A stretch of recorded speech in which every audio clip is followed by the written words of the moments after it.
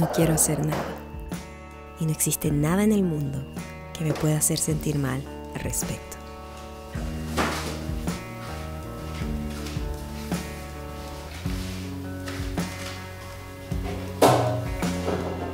En un mundo donde la productividad en esteroides es halagada, sentir que no quieres hacer nada te hace sentir como que estás fallando.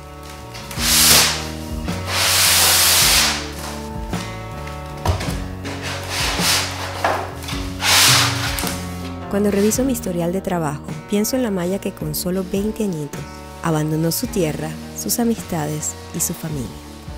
Todo para lograr un sueño.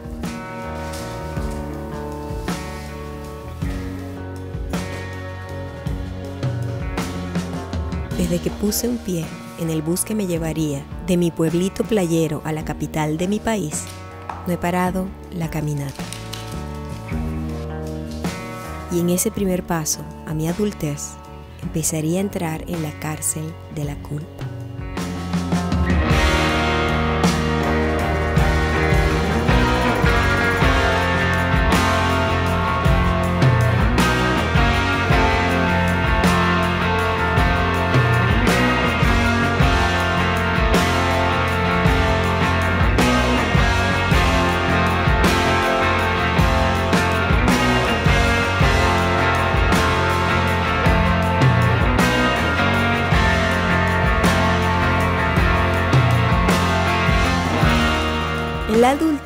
La culpa es quizás de las emociones más comunes entre los humanos.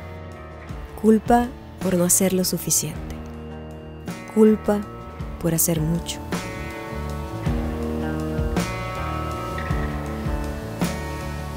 En los días que no quiero hacer nada, he notado que lo menos que hago es nada. Porque si me pongo literal, nada es la inexistencia total o carencia absoluta de todo ser. También se le conoce como la sensación de vacío o inexistencia.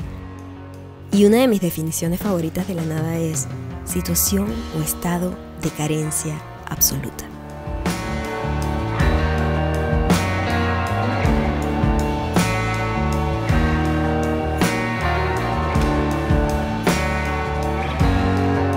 Los días en los que no quiero hacer nada son los días más productivos para mi mente y mi cuerpo.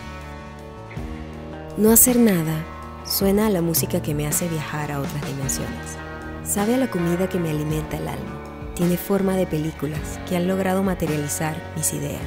No hacer nada es todo.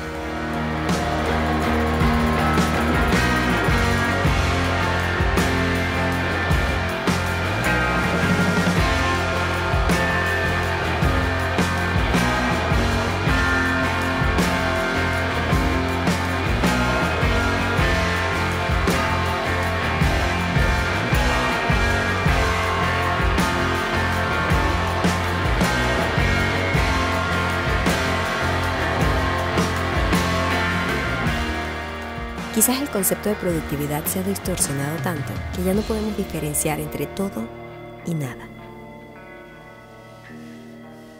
En 1791, Benjamin Franklin creó lo que se conoce como la primera to-do list. La lista abría con la siguiente pregunta. ¿Qué cosa buena debería hacer hoy? Para Benjamin Franklin, la idea de una to-do list era tener algo bueno que ofrecer a la sociedad diariamente.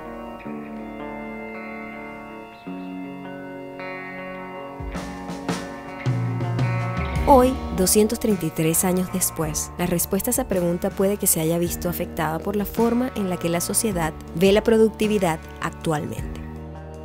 La productividad pasó de ser la herramienta usada para aportar algo positivo al mundo a una incesante manera de buscar más y más y más y más y más y más y más y más y más y más y más y más y más.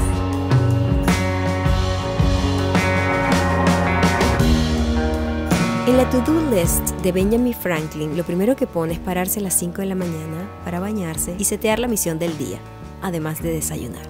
De 8 a 12 trabajar, De 12 a 2 leer, revisar algunas cosas pendientes y almorzar. De 2 a 6 trabajar. Y de 6 a 10 de la noche poner todo en su justo lugar. Cenar, escuchar música, hacer algo divertido o tener una buena conversación y hacer un análisis del día. Y luego de 10 a 5 de la mañana, dormir.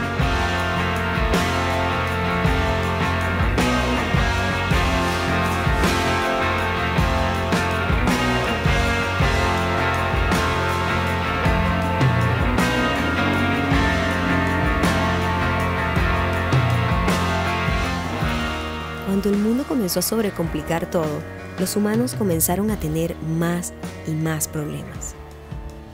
Uno de los que más me aterran es el autoaislamiento dentro de la cárcel de la productividad. Los humanos han estado expuestos a una cantidad irrisoria de estímulos, al punto que hasta cuando no están haciendo nada, siente que se están perdiendo de todo. Al pasar los años, tomarse días para no hacer nada comenzaba a dejarme un sabor agridulce. La productividad pasó de ser algo que hacíamos para el beneficio de todos a ser una bandera de superpoder individualista. Curiosamente, todos los humanos, cuando dicen que no van a hacer nada, hacen lo que más les gusta hacer. Por lo general, son las cosas más simples. Lo curioso es que muchísimos humanos no saben que siguen teniendo el mismo poder y libertad de tener una to-do list súper simple como Benjamin Franklin. No hacer nada es un doble negativo. Mientras el humano está vivo, la nada es un imposible.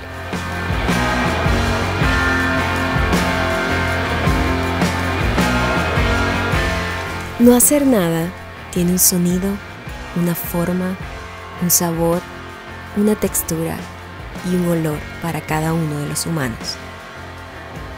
Hoy no quiero hacer nada y hoy mi nada luce así.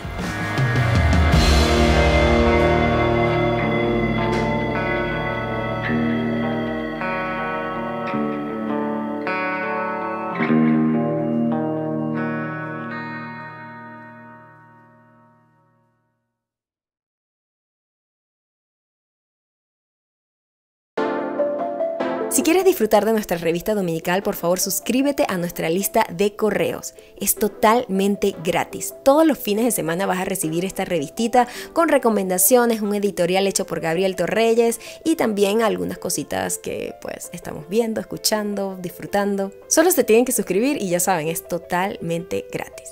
Ahora, si quieres apoyar este canal, también puedes darnos un super thanks. Está debajo de este video, es una pequeña donación que aporta para la continuidad de este pequeño proyecto.